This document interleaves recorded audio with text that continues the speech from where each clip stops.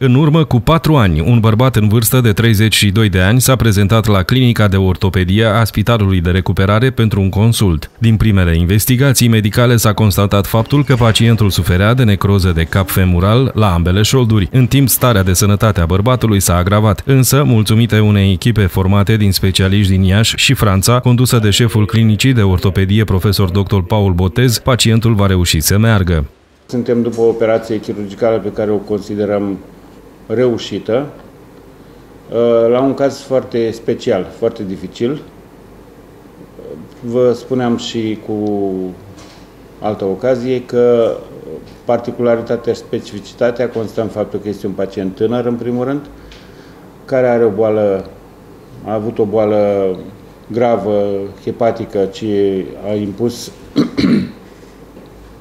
transplant hepatic în urmă cu un an, ceea ce face deja să fie o mare problemă pentru el. Are deja, deja două implanturi la șold pe care le-am realizat eu în urmă cu trei ani pentru mai mult sau mai puțin aceeași boală pe care o are acum și la umăr, deci necroza septică de cap femoral, și care sub tratament imunosupresiv și corticoterapie de însoțire întotdeauna a, a transplantului, uh, hepatic, din păcate pentru toată viața, pe corticoterapie sau imunosupresie, a dezvoltat această necroză la nivelul umerilor. Din cauza complicațiilor, pacientul a suferit și o necroză la nivelul ambilor umeri. La intervenție a participat și o echipă de medici români stabiliți în Franța, specializați în chirurgia umărului.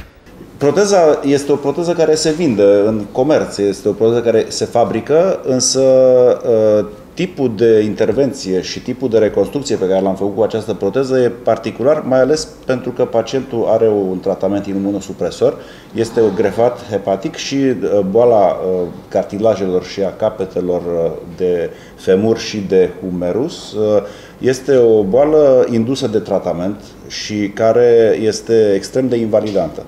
Și ieri am testat, cum spunea și colegul profesorul Botez, am testat clinic pacientul care avea o mobilitate extrem de redusă și dureroasă și uh, astăzi am uh, transformat această articulație într-o articulație cu o proteză care funcționează și care va fi, sperăm, nedureroasă.